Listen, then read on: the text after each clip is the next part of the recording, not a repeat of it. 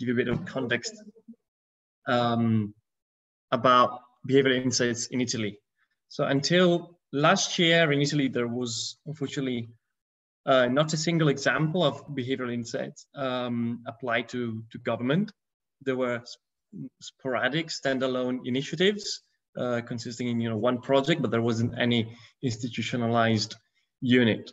Um, and you know, coming from an international background, uh, living and working abroad for the last uh, few years, I was both you know astonished at and surprised by the, the absence of discourse on on behavioral economics and behavioral insights applied to the public sector. And I, I wanted to, to, I wanted that to change. And, um, you know, I had the opportunity, you know, in my uh, previous work projects, you know, to um, interact with several government officials and eventually the, the Secretary of the Environment um, requested, uh, you know, and, and to, to help her basically design the, the behavioral economics agenda for the um, plan on behavioral, on environmental policy. And upon my appointment, I was the only advisor to uh, member of cabinet, uh, specifically devoted to behavioral economics.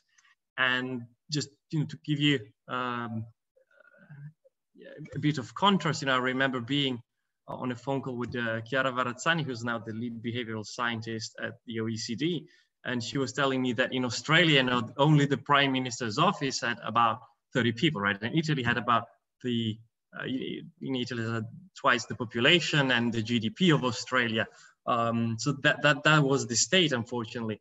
Um, and, you know, the rest of the world, um, bigger and smaller countries alike were um, instituting uh, full-fledged behavioral insights uh, units.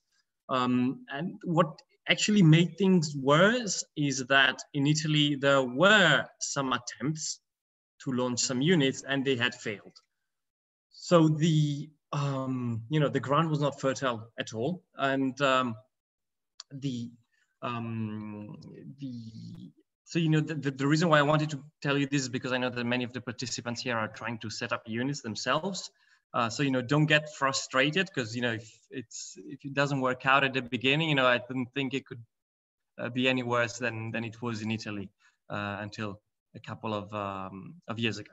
Um, then in, in August 2018, I received a call from the chief of staff of the mayor of Rome who had heard about my job, uh, my, my previous job, um, and some things, uh, some project I'd been working on. And he, and basically the mayor requested a meeting and so here, you know, the, the, the story of R squared, um, the first behavioral insights unit of Italy begins. Now, the, um, yeah, that, that's, that's exciting, right? You know, the, Italy finally has a behavioral insights unit. Uh, and that's right, except that uh, the unit was, you know, in fact, just, you know, a unit, uh, one person, and there was no staff, there was no budget, uh, but yet, you know, had the ambition of um, you know, to, to make a positive impact uh, in a very innovative way, um, at least for, for Italy. Uh, but I, you know, I thought to myself, okay, how do I do it? And uh, the answer was um, public and research partnerships. So what I did uh, was um, I created a registry um, fairly early on, and um, anyone could basically sign up to this registry in a very uh, non-bureaucratic way, um, provided that you know they met specific technical requirements. And these requirements were um, mostly focused on the, the technical and knowledge and skills of, of the applicants with, uh, with regards to behavioral science. Um, and you know that allowed us to actually um, you know, despite the fact that you know that we didn't have any budget, that there was and, and any staff actually, uh, that was um, actually our our strength because you know this this registry, you know, managed to promote it, and we uh, what we did basically is we repurposed um, Rome's policies into RCTs. Um, many were actually you know excited to have a three million people lab Um, and so, you know, we were able to recruit, uh, to enlist uh, um, behavioral scientists from all over the world, from um, Harvard, MIT, you know, many, many people in Boston, in the United States, you know, all the way to Australia. And this actually turned, you know, worked out fairly, you know, it worked out nicely because uh, we were actually able to focus uh, on specific verticals depending on the expertise of our external partner. Um, and so, you know, we were, we, you know, we're working with geneticists from Harvard as well as uh, people who focus on, on, on transportation behavior in Australia, right? And, and, you know, with this format, we were able to, to specialize in a way.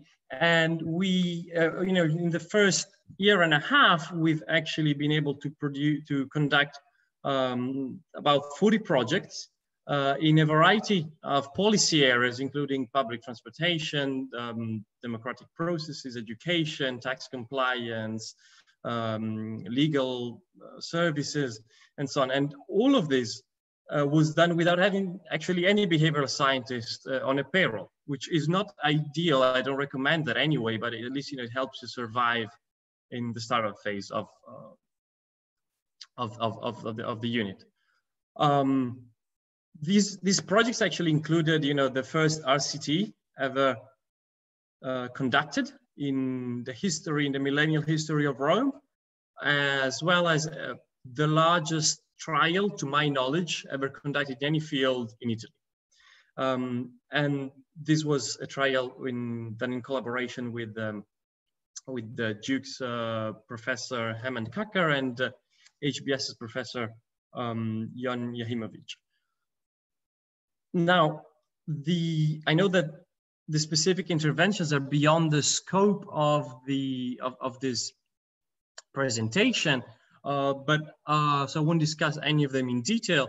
Uh, but I wanted to, you know, just to give you the, you know, I want to get you the, the flavor of uh, some of the things that we've been uh, working on, and um, especially, you know, to to um, show you know what was basically my agenda, at least in setting up this unit. And you know, I invite you know whoever is currently thinking or planning on um, setting up a unit, you know, what, is your actual agenda?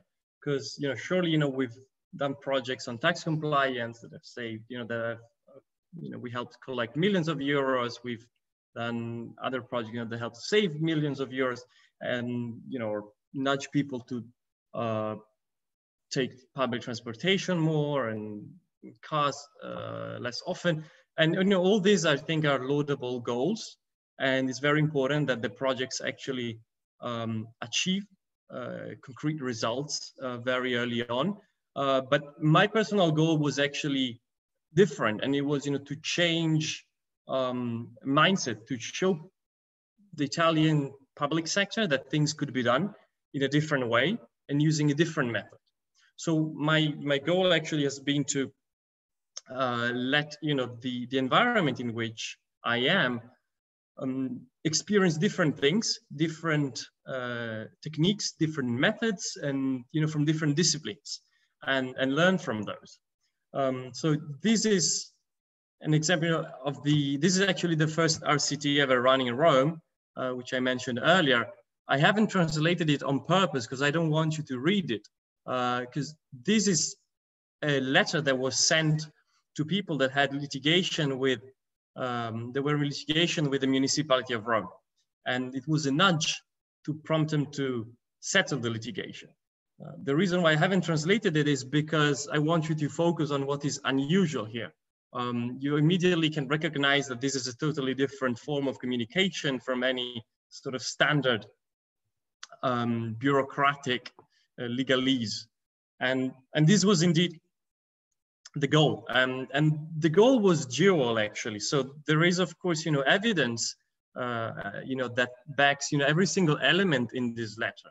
And, you know, we, we do base uh, whatever we do on science, um, but there is actually something else and which is that, you know, as a first project, I really wanted to show people that this methodology not only works because of the result it achieves, uh, but I wanted also to see, you know, the unpredictability of the result.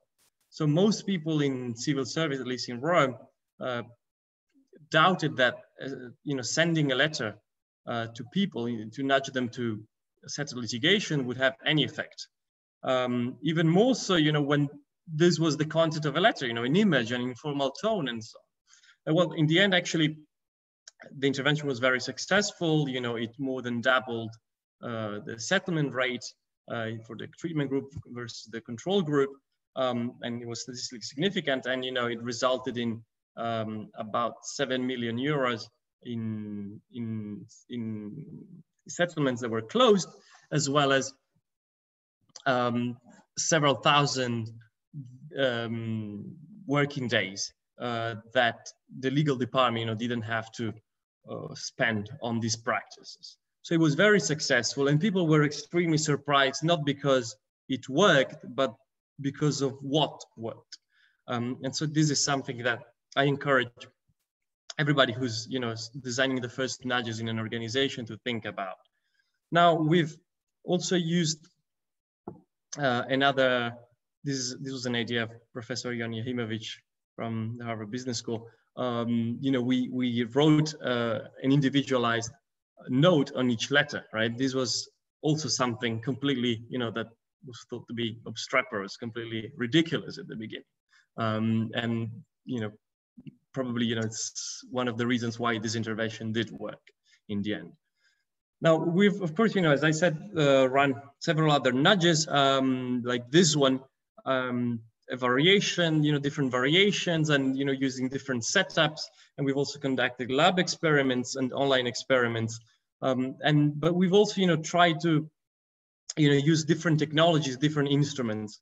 Um, for instance, you know, recently we've uh, conducted an experiment to evaluate the communication campaign on fare evasion of our public transit company. And this was done in collaboration with uh, Fabio Babiloni and Anastromia. And what we did here, you know, we used uh, several um, biological and neurophysiological metrics. So for instance, we used the galvanic skin response, uh, we used the eye tracking, and we used the EEG to evaluate the effectiveness of, of a campaign. Another example was um, you know, during COVID uh, or after COVID, uh, we used, implemented a protocol uh, wherein participants who are exposed to an increased amount of stress and anxiety because of COVID um, are actually trained to deal with these negative states, negative emotions um, through the use of VR. Um, this was, we were the first municipality uh, or first government actually in the world to use VR specifically to um, aid COVID-19 related stress and anxiety. And um, our protocol was based on a protocol that was uh, piloted in Italy's first COVID-19 hospital in, in the north in the red zone. Another example, you know, of uh, something a little different than you sort of, you know, your, your typical nudge intervention is, you know, we're currently working with uh, local um, academics as well as um, scholars from the Harvard Chan School of Public Health um, to use basically biomarkers uh, to evaluate policies. And here, what you see, what you see here is it is um, a telomere, uh, which is the you know, which are the little yellow uh, tips at the end of chromosomes. And what basically uh, what, telomeres are, you know, is basically they're telomere, they're sorry biomarkers for longevity. Uh, so basically, you know, what they do is they tell you a lot about the person whose telomere you're measuring. Uh, first of all, you know, they tell you, you know, about their uh, their longevity, but actually telomeres are associated with a number of um, of diseases and, and other physiological states. So what uh, what we're doing here is actually to to use telomeres to evaluate how certain policies have an effect on the health of people. Um, in and you know using this sort of indirect um, measurement, right? When when you can't run uh, an RCT. Although you can use, of course, biomarkers also in RCTs. specifically, you know, we've been uh, focusing on the role of greenness. Uh, so what is the effect of greenness on, um, on, on, on citizens' health? And in order to do this, what we plan on doing is use satellite data. And so we will basically create um, an index for each geographic indicator in Rome uh, and maybe beyond Rome, actually, we'll you know expanding the project uh, um, to different areas. And through satellite data, we basically um, create this index of you know greenness. So basically, we are able to tell how much, uh, how many green spaces and are in, in in a specific area, and then see whether you know there is any um, correlation with with um, with biomarkers, with telomeres specifically. And, and you know the idea is then you know to investigate you know what what what the effect could be you know maybe social cohesion or what behaviors could happen around green areas that that maybe uh, allow people to to live longer. So if you have if you if you have a longer telomere, um, basically you have um, on average you know you will be you're more prone to uh, have a longer a longer life. Now, so over the last year and a half, we were able, you know, to go from one unit, you know, me being, you know, and going, you know, knocking on doors, you know, and uh, nudging people to nudge, um, to actually, you know, being a full-fledged uh, department uh, within the mayor's cabinet office. Uh, you can see on the right, you know, our little uh, headquarters. And this is again great, except that we, you know, uh, COVID happened. Uh, so we had planned, you know, to 25 interventions uh, across 19 different policy areas. And of course, you know, everything changed due to COVID. Um, this was an interesting period for us though, because we were, you know, Italy's and um, only behavioral insights unit. And so when COVID-19 happened, we realized, you know, like many other behavioral scientists, that the outcome of the pandemic would depend not only on virological issues, but um, on behavioral aspects too. And so, you know, as you know, the only behavioral insights unit in Italy, we felt compelled to actually do something since, you know, there, there isn't this sensitivity at a national level. Um, so what, what we did in the first 24 hours of the emergency and you know that's what that's exactly you know when italy entered the lockdown uh, which you know uh, we all know what it is now you know but by then you know, it was it was shocking uh, you know, the most restrictive measure on a Western country since World War II, and the rest of the world was actually just carrying on as, uh, you know, doing you know things as as usual. Um, what we did in you know in the first 24 hours was actually to uh, we put together a group of behavioral scientists across nine different time zones, and we were able to actually produce the first quantitative empirical data about behavior and the lockdown to my knowledge, that's uh, that was the first experiment. Uh, it was an online experiment, and that was the first uh, such experiment in the world on on the lockdown. Um, from then, you know, we went on to um, investigate other other issues, and particularly, you know, in March, we uh, we ran other um, experimental surveys, and what we found was that the emergency was actually shifting very quickly uh, from you know being a medical physical health emergency to being a mental health emergency too. Now of course you know in hindsight we, we, we all know that uh, but this was again you know in, in march and many countries hadn't even entered the lockdown yet. Um, so this was very interesting. Um, our the whole process actually was was you know was was touching in a way because it was mm, really moving to see you know how people from all over the world had mobilized you know to to help um, Italy at the beginning and then you know many of us went on to do uh, different things you know in different projects um, you know this actually this you can see the group you know of people that are too numerous to to thank all of them individually. Um, you know, the, the story was actually featured on Scientific American and local um, press here in Italy, and our work has then been um, featured and used, you know, by the, the OECD and the UNDP. So what uh, comes next? So um, there are mostly two things that um, we're trying to do now. And one is uh, internal, and that's uh, basically to dissolve the unit. So you may think, okay, well, that's a paradox. Why would you want to do that? Uh, well, the, the, idea is to actually dissolve the unit to embed it operationally across the um, the municipality. So of course, you know, the municipality of Rome is a behemoth. We have about 24,000 civil servants.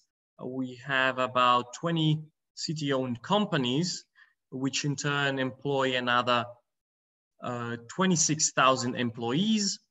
Um, one of our city-owned company has a subsidiary in Peru and another one in the Dominican Republic, right? So just to give you an idea of the complexity uh, that uh, all comes, you know, from, from this ecosystem.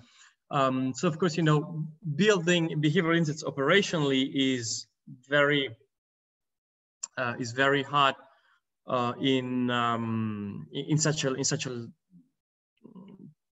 complex and uh, convoluted environment. So what we're doing is actually building small behavioral insights unit within the municipality um, and its companies. Um, you know, we've been lucky enough to have many successes early on, and um, these successes I in, um, have actually not come from where the policy priorities uh, were.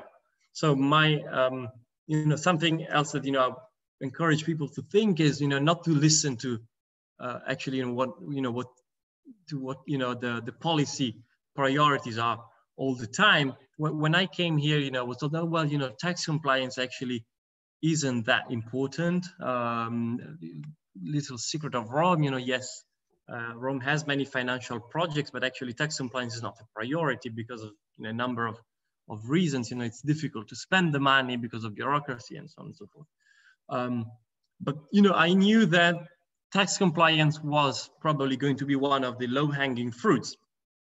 So what uh, I did, you know, I insisted in, uh, you know, in working in, in this policy area. And one of the first RCTs was on the on real estate tax here in Rome. And it was very successful and tax compliance has now become the main, one of the main um, policy areas in which we work. Um, the other one probably being transportation. Um, so the you know the reason why I insisted is was not you know because I wanted uh, necessarily to work on tax compliance to help that policy area, but uh, more specifically, the goal was to um, have some quick wins and encourage people, you know, to uh, and and once you do have some quick wins using this innovative approach, you know, that you know nobody had ever used at the municipality of Rome. Um, you, you know you see that opinions and attitudes change dramatically, and so policy uh, priorities also change, and all of a sudden, you know, every single euro has to be saved through behavioral insights. Now, of course, you know you do have to listen to people, but uh, for other reasons. So my Another mistake that I've seen a lot in, in some of our projects is that the, the technical expert uh, does not necessarily listen to the people that are involved in the processes. And this, I think, is, is a huge mistake uh, because yes, we know a lot about human behavior. You know, there has been a lot of research and there is a lot of literature on that. Uh, but actually what is often missing is the context. Um, and there have been numerous issues, you know, on external uh, validity of uh, nudges and behavioral interventions.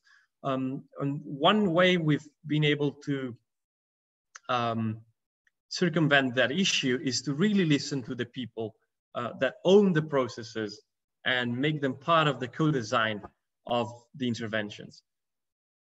Another aspect that uh, I wish you know I had done more. Honestly, I think this was uh, a mistake early on, but probably I didn't have the, the bandwidth, you know, being alone at, at the start, you know, but I think it's very important to do capacity building within organizations. So um, when as soon as you know we we did have some more bandwidth and resources, you know, we immediately started organizing lectures and workshops, and this is where I think you know the change really happens. Um, it's when you when you know people come to you with ideas um, of you know think not just that can be um, that can be used um, and policy areas you know that uh, can benefit from these approaches um, it's it's not something that you necessarily see very from the start, but it definitely does pay off. Um, so my recommendation is to you know invest in capacity building a lot within organizations. Um, the the sooner you do that, uh, the better it is, um, and it also allows you um, to avoid backlashes. Uh, so we have had instances within the municipality wherein um, you know some you know individuals uh, were not happy with uh, with these approaches. And not because they didn't work but you know perhaps you know some felt like you know we were teaching them what to do or uh, how to do things better. Uh, some felt like you know with their their shortcomings were being put under the spotlight. Um, if you if you actually encourage people to use this approach themselves, it actually makes it much easier to engender collaboration uh, that, that becomes um, efficient in, in the long run. So uh, another thing that we are trying to do is to build an ecosystem in Rome and beyond uh, for behavioral insights. Um, so my plan here is to actually um, bring in more and more often the local universities. And we're currently you know, partnering with uh, local universities such as Sapienza, as well as the University of Chicago, the Booth Business School, uh, in, in, the same project. Um, so the idea is to build uh, an ecosystem for behavioral insights where research can benefit from the application of behavioral insights in the field, and at the same time, these new advances can be incorporated in policy making to benefit the community. Um, the very ambitious project we are working on is the creation of a data platform which will encompass a variety of sources um, of, uh, of data, um, including administrative data, behavioral data, uh, but also um, biological data, psychometric data. And here the idea is that um, we, what we want to achieve in the medium to long run is a, a system for policy making wherein um, citizens who opt in into this system um, can actually receive policies that are meaningful to the to the individual. I think that um, and one of the things that we've seen here in Rome is that no matter what uh, the intervention you run, and no matter you know how nice and sweet you are, you will always find uh, someone who gets offended or who doesn't like you know heterogeneous treatment effects are everywhere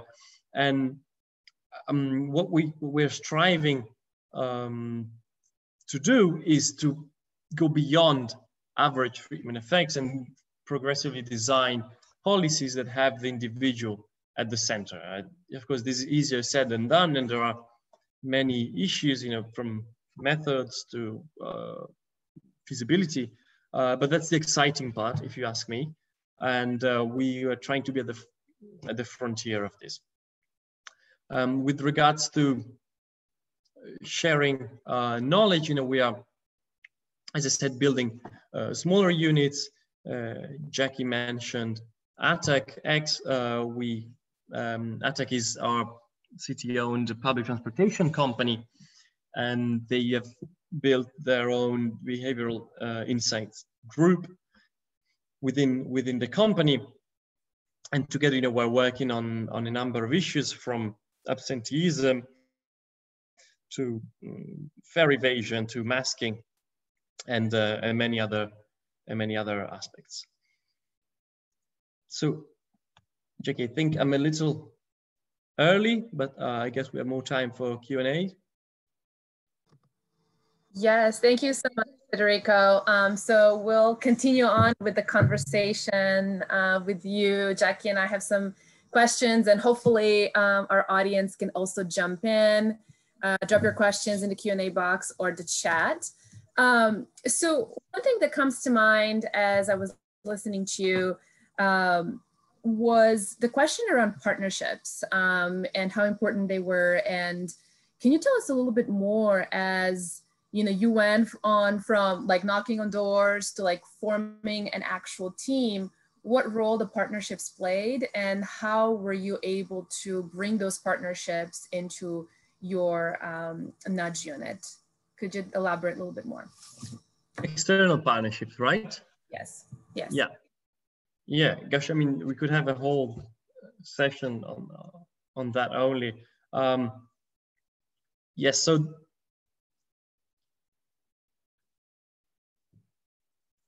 partnerships are really at the heart of our unit. Um, I would say 90% of the projects we've done, you know, were in partnership with, with, with someone externally. Um, we always look for, you know, that sweet spot between what is relevant for policy and what the goals of the individual are. Um, and, and, and these vary a lot. So we, we work a lot with academics, as I said. Um, most of our partnerships are with, with, with researchers and with them, you know, what, what we do is, you know, to, to really understand and to really make sure that uh, they get um, an environment wherein they can test their theories. Um, but in doing so, also, you know, bringing some innovation and some insights. Um, and so maybe, you know, if, if we were to implement, you know, if, let's take a very practical example, you know, if we were to implement an RCT, um, and you know, a researcher has a specific idea, uh, well, okay, then let's make uh, you know the control group not not only you know the business as usual, which we usually keep too, but also you know uh, what what is the the current uh, state of the art behavioral science with you know in the specific policy area, and um, and this usually allows us to um, significantly improve policy outcomes. Um, of course, you know, this, it's, it's not always optimal, um, especially, you know, at, at the early stages uh, when you really want some quick wins. And, and I guess that the easiest thing to do then is to actually um, copycat, you know, just go and read one of the behavioral insights team reports, ideas 42, you know, and just do something that, you know, they've done and they've done number of the number of times and there is evidence that uh, you know certain techniques you know can be easily replicated. Do those. Um, researchers aren't necessarily interested in those. Now what what we found however is that the I focus mostly on researchers in, in my presentations. I thought we would run out of time, uh, but actually, we have a number of um, members in our community that don't come from uh, from research. And you know, we have people that work in the private sector, we have people that work in other government agencies, and and their motives, their goals are different. Uh, so we actually have um, a very we have a wonderful small community of Italian behavioral practitioners around the world.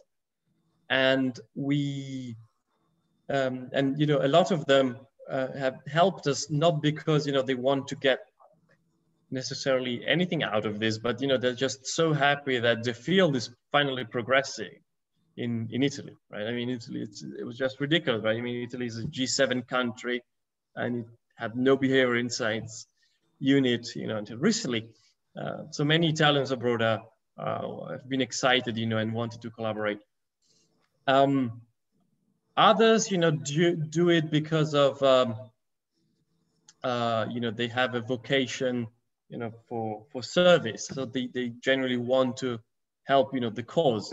And, and so they want, you know, they see it as sort of a, a volunteering activity. Others do it, you know, for experience. Um, uh, maybe, you know, some more junior people, you know, they want to uh, move, step away from the lab and do things in the field. Um, they do it for the experience, you know, to, uh, to, to, gain experience on their CV or practical experience. So everyone um, basically has, you know, their, their different goals. And it's not easy to actually uh, always find, you know, the, the, the match. Um, but over time, I think that uh, if you do have a model uh, that allows, you know, to, to be nimble, you know, in setting up these collaborations, it can be an extremely valuable resource. I mean, we, we, I mean, the, the stuff we did during COVID, you know, it was amazing. And uh, it was only thanks to, you know, people around the globe, right? We, we didn't do much, honestly. I mean, we were just mostly coordinating, but we had, you know, 30 people around the world, you know, working around the clock. Um, you know, when, when somebody, you know, was going to sleep, there would be someone else in Australia, you know, taking up the task and, and finishing it. Um, so it's, it's, it's, it's, I think, you know, it can be extremely beneficial to, uh, to have these collaborations uh, set up in, in such a, an agile uh, way. Great, great. And I think Jackie is going to lead with a few questions we got from the audience. Go ahead, Jackie. Yes, so to start, we have one question about a point you made at the end of your presentation, specifically on incorporating the people that you are uh, ultimately impacting in your interventions into the process of designing or perhaps soliciting feedback on those interventions. So, could you speak more about that and perhaps how that may be influencing your outcomes in the end as well? Yeah, sure. So when it's not always possible, of course, and oftentimes, you know, we're we have time constraints, and you know, we just have to basically design an RCT within a couple of days, and and in those instances, it's fine. But whenever possible, we actually try to bring in all the stakeholders. Um, we try to bring in uh, fellow civil servants that don't necessarily have any uh, knowledge on behavioral science, but nonetheless have specific um, sectorial knowledge, um, as well as you know people from uh, outside the, the, municipality, so any stakeholders. Um, this is you know something that actually I've you know we've worked very well with ethnographers in, in, in this sort of setup because they, they really understand, you know, the qualitative aspect of it. And another piece of advice that I would give is, you know, when, when, when a unit is expanding and you're hiring, uh, you know, to look for someone, of course, that has quantitative skills, uh, but also, you know, qualitative skills. Um, now, the, the this this of course you know it, it, it's hard for me you know to give you a, rule of thumb because um, each project is different and each and the policy areas i mean you know go from uh, from schooling to littering. So you know it's they're completely different. Um, and but um, i guess my main takeaway is to you know always um, give it you know whatever the idea, you know, of the non-behavioral guys are, uh, you know, give it a shot. And this is beneficial, I think, for two reasons. One is because you never know, right? Let the data tell you. Let the let an RCT tell you what actually works. Um, and then the second way is because actually, you know, by by letting people, you know, getting their hands dirty in in in co-designing interventions, um, you're securing long-term collaboration which again, I think is really the, the key issue, right, of behavioral insights unit. It's to actually have internal buy-in. And um, it's, it's that, that, that's the hard part, right? I mean, having the buy-in from the top uh, hardly ensures uh, productivity in terms of you know actually running operations. Um, and actually, you know, I think that sometimes so what we did is set up the unit directly under the mayor's cabinet um, office or within the mayor's cabinet office under under the mayor. And that was certainly good for some things because that you know gave us the opportunity to work to work across the policy spectrum from um, waste management to public transit to uh, COVID. But it made operational things much, much more difficult because usually the higher you're an organization, you know, the, the, the more bureaucracy it is, right? Because more things are at stake. So, you know, even when you have something very silly, you need to go through uh, 10 different people uh, before you can actually proceed. And um, another issue, you know, is really um,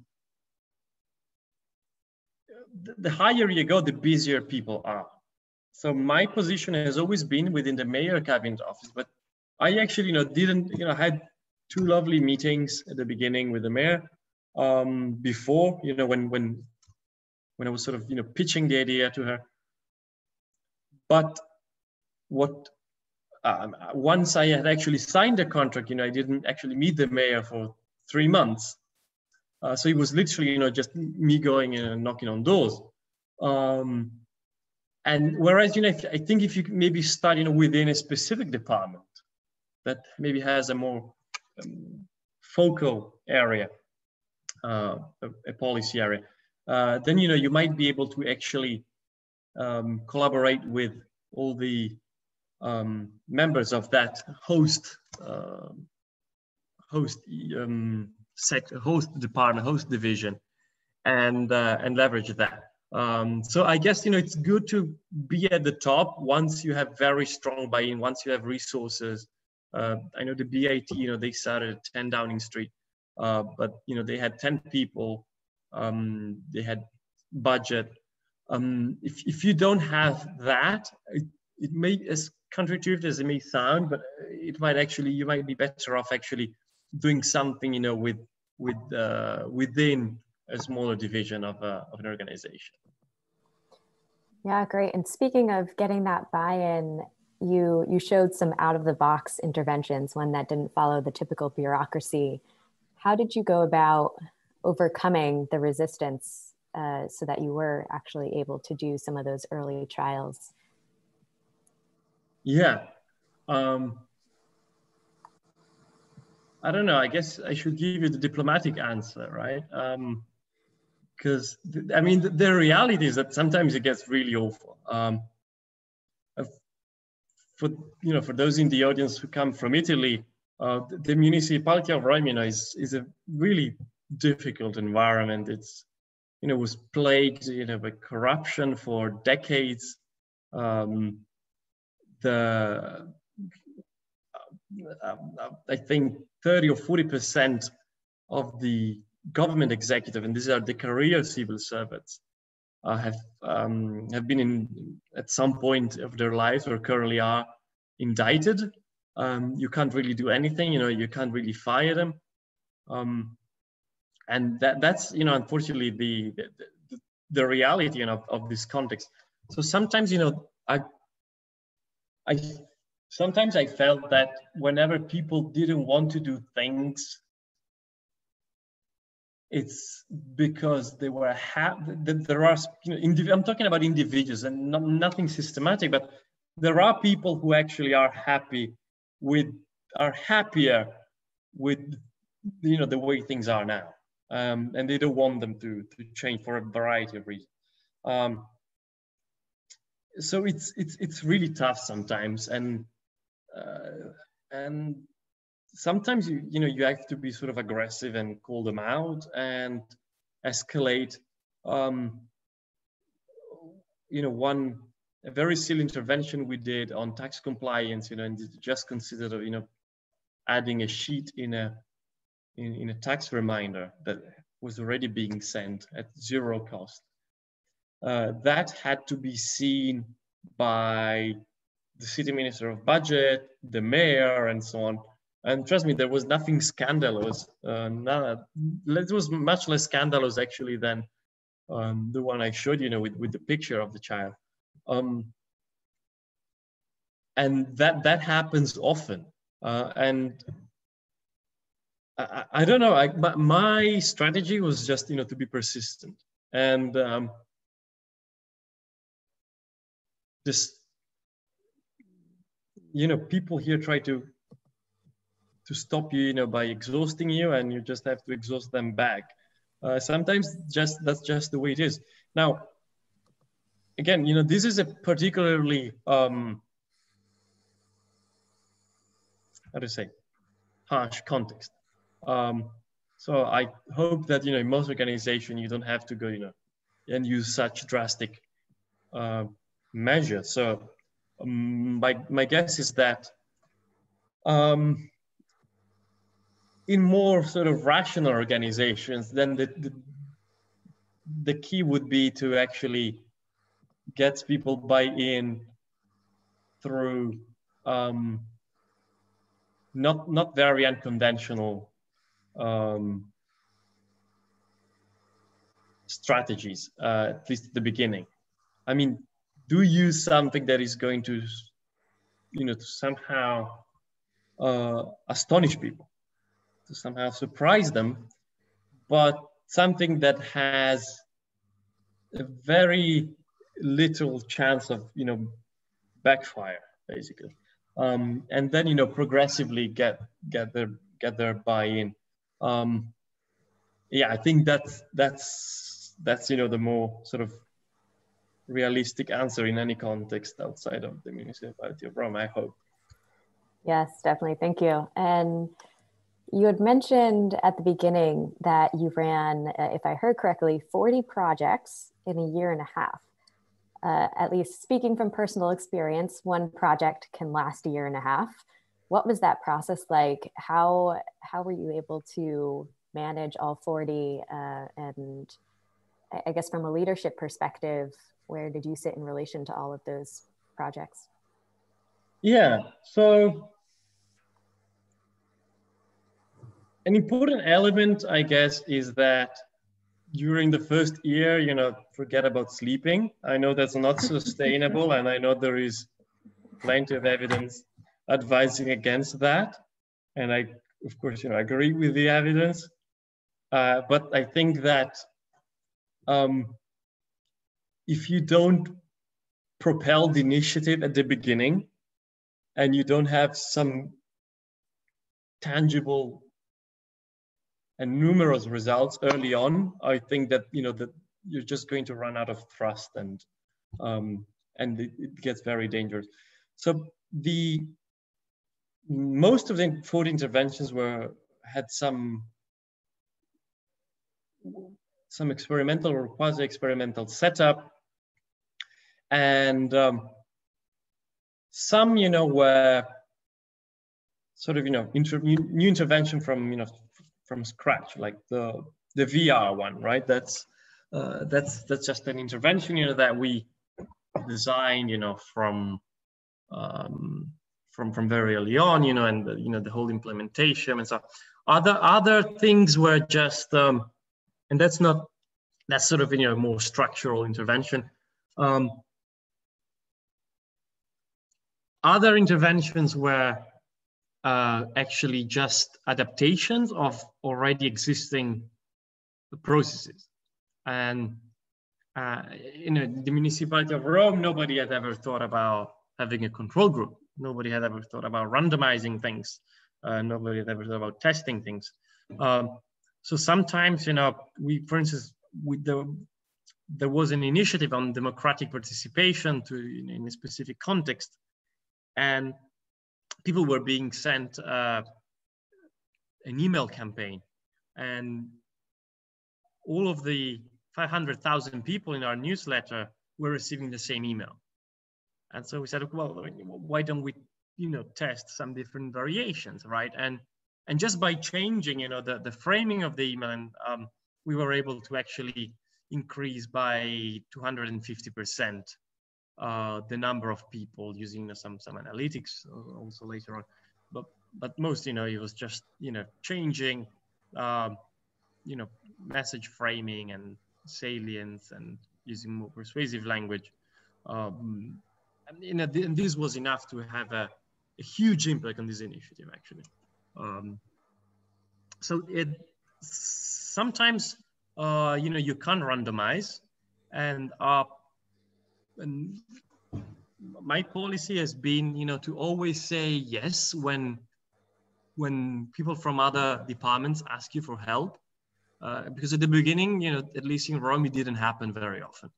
It does now, um, and we, we actually can't keep up with, uh, with requests. But earlier on, you know, we um, we didn't get uh, many requests for collaboration from other divisions, and so we know whenever anything was coming up, we would say yes. And sometimes, you know, it would simply uh, consist in I don't know uh, how can we you know change uh, uh, you know this this very particular and small aspect of a process and you know what's what's the the policy result? I don't know. Uh, but you know we would still try to say yes just you know to make you know to keep the to keep the spirit going. And another way that we structured the the the collaboration is that the the single divisions that collaborate with us on behavior insights project, they have to be part of the of the um, of the group that um, um, talks to basically the, the research partners. So of course, you know, we're always there, but at the end of the day, it's going to be I don't know the postdoctoral researcher at uh, Boston University, you know, talking to the uh, public transportation company.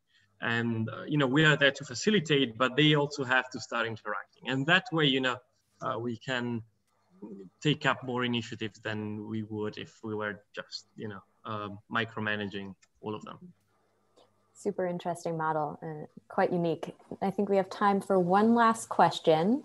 Uh, there's one specifically on the studies you spoke about with eye tracking and EEG, so more um, methods that probably aren't used as often for internal government units.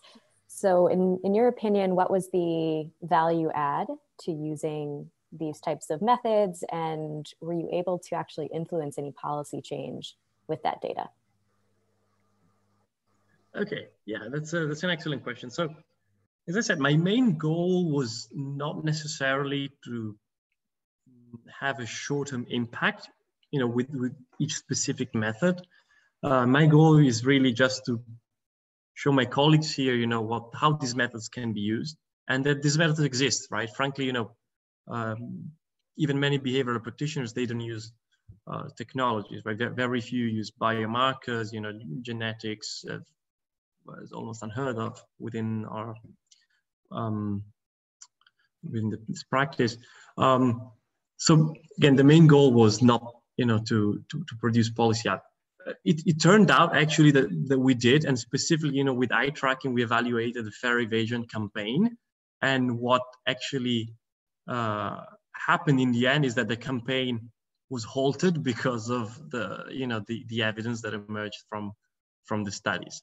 Uh, so it did have actually an immense um, implication uh, policy-wise.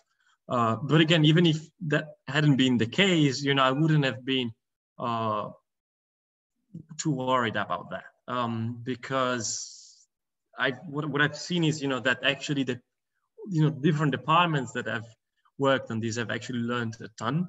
I have worked uh, a ton, you know, th throughout you know in each project. Um, I learn a ton, and and people learn a ton, and I think that's the main uh, that that should be that's just as important as each uh, specific policy outcome.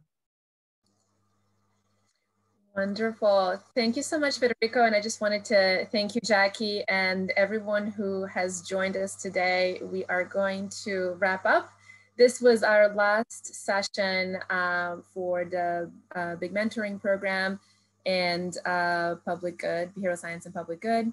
Uh, so we are looking forward to seeing you again in the spring. Until then, have a wonderful holiday season And um, again, thank you, Federico, and thank you, Jackie. Have a good day, everyone. Appreciate it. Thank you.